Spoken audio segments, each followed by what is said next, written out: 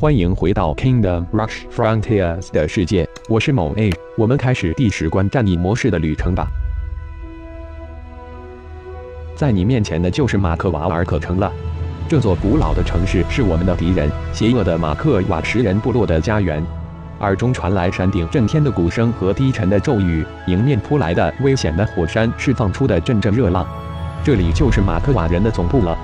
为了击退恐怖的敌人，我们首先要突破马克瓦人驻守在城市四周的军队。不过好在我们的矮人工程师和侏儒工匠们已经为我们准备好了一个巨大的机械奇迹。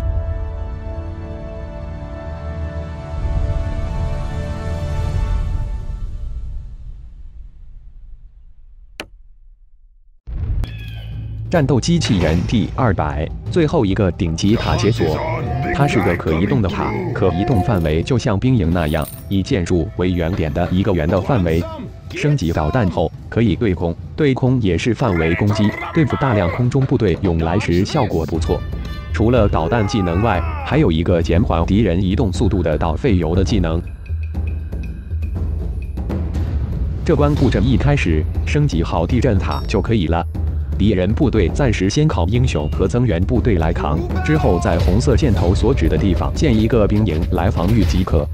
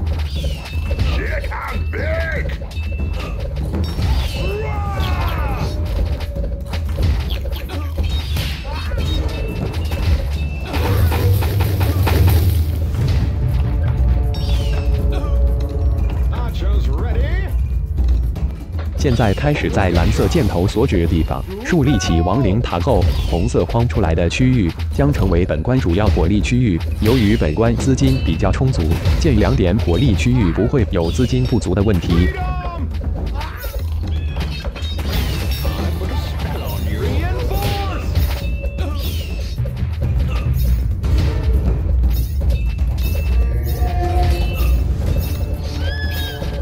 箭头所指的地方，建好一个三级弓箭塔，就能防御住那食人族汉子把妹子丢入火锅里了。